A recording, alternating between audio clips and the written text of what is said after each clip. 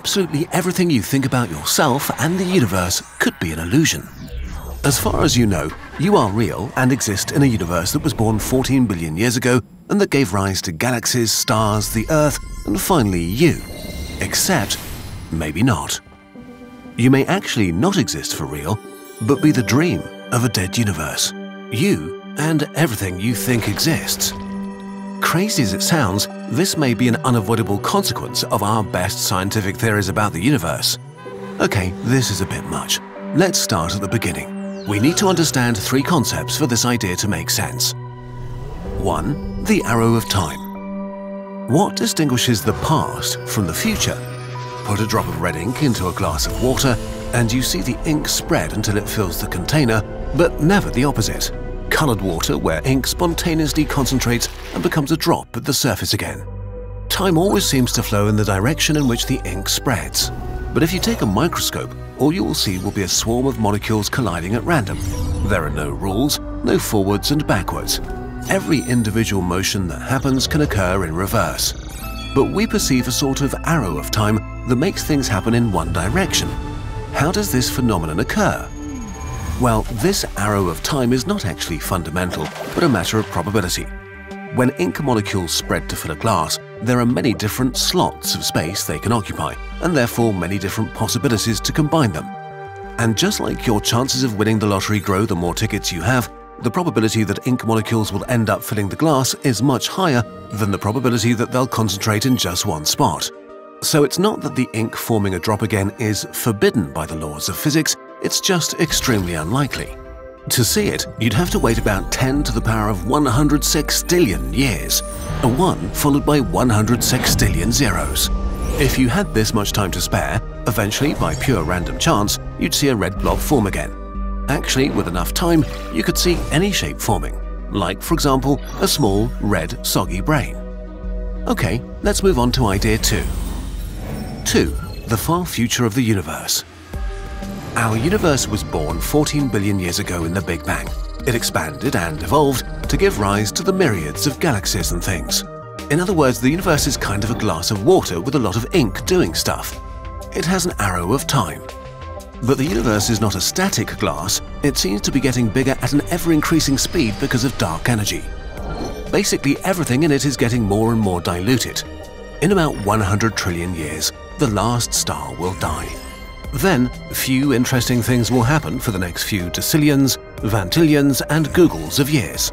Eventually, the universe will be a dark place fully dominated by dark energy, a rapidly expanding ball of pure space almost devoid of matter.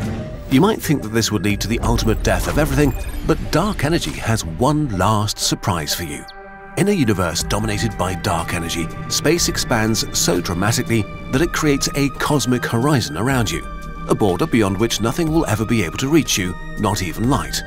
So for every practical purpose, the universe has become a glass of finite size about 36 billion light-years wide, surrounded by an impassable cosmic horizon. Such a universe glass is basically a giant black hole turned inside out. We know that due to quantum effects, all black holes emit a tiny amount of particles, a phenomenon known as Hawking radiation. And so does our inside-out black hole. In the end, this radiation will fill the universe glass with particles again, at this point, so far in the future that giving you a number has no more meaning, we've reached the true final state. The universe has now become a closed box full of particles at an extremely low but finite temperature. And since they have a temperature, they undergo random motions. Or in other words, a glass filled with water and ink and an infinite amount of time ahead. Things are about to become interesting again. 3. Typing monkeys and fake universes. Eternity is a long, long time. So now, even the most extremely unlikely things can happen. The fluctuating particles are bumping into each other over and over and over again, creating every combination of particles that's possible.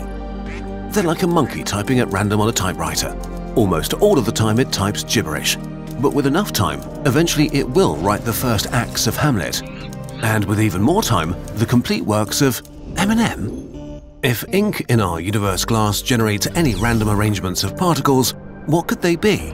Well, a spontaneous fluctuation could give rise to a planet, or to a galaxy, or even to a lot of them. So maybe our universe has already ended and all we see around us is a pop-up universe. Not a universe that evolved from a Big Bang, but one that fluctuated into existence by pure chance.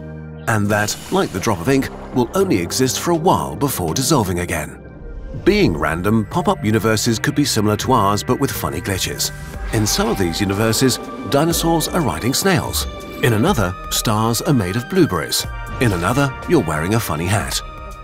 Scientists in such universes wouldn't understand those glitches, so maybe the greatest mysteries of physics are just nonsense bugs of our pop-up universe. But not all possible fluctuations of our dead universe have the same probability of occurring. Smaller fluctuations are much more probable than bigger ones. A planet is more likely than a galaxy. But you know what's even way more likely? A human brain.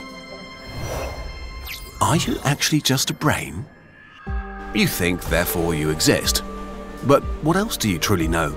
In the end, your brain is just interpreting signals from your senses and creating a world that you experience.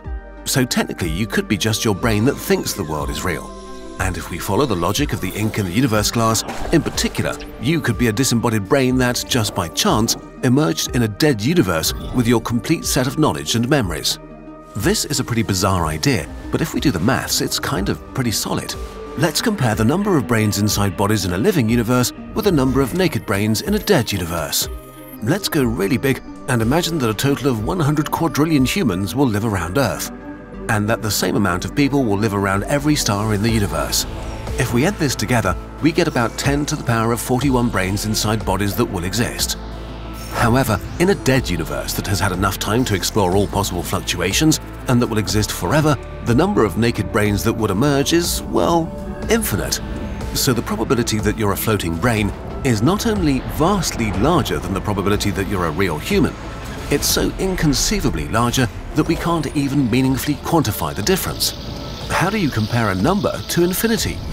So, are you a floating brain that exists for one moment in time, then basically forever passes, and then you exist for another moment in time? Maybe not even in that order. Maybe your life happens backwards and you just don't notice. Maybe you've lived trillions of times already. Are you the dream of a dead universe? Really? Like, really? Well, probably not. First of all, there are a few loopholes. For example, dark energy could behave completely differently from what we think today and lead us to another future.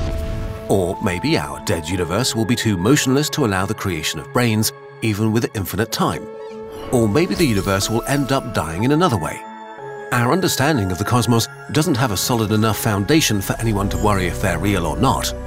Loopholes aside, if you were a fluctuating brain, all the laws of physics stored in your brain would have originated at random and shouldn't bear any relation to the real world. But we just used those laws to prove that you're a floating brain. So even if you believe that you are a floating brain, you'd have to admit that you have no good reason to believe that you are actually a floating brain.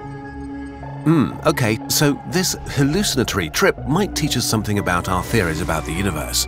But in the end, it's just a really weird exercise in what you can do with physics. An exercise of what brains and bodies are able to think about.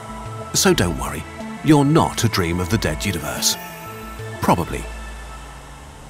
At Kurzgesagt, we love discussing topics like Boltzmann brains because we're convinced that taking science and philosophy seriously is really important for having a positive impact on the world. We're lucky because this is our job, doing something impactful we also enjoy. If you're also aiming to make a positive difference, where should you start? Well, we've noticed a lot of advice about having a positive impact isn't based on the best available evidence. Today's sponsor, 80,000 Hours, aims to offer some that is. 80,000 Hours is a non-profit career advice organization that wants to help people find fulfilling careers that also do a lot of good in the world. And their advice is free to read online without any hidden cost or fee later on. They've spent the last decade compiling and conducting research into topics like how much impact can one person actually have and what are the best ways to make a positive difference on important global issues. And like us, they care a lot about making sure their work is based on the best available evidence and consultation with experts. You can read their main takeaways and actionable advice in their free online career guide that's recently got a massive update for 2023. If you'd like to read it for yourself and start working towards a career that's both meaningful and helps solve one of the world's most pressing problems, then you can find it all completely free at 80000hours.org slash Kurzgesagt.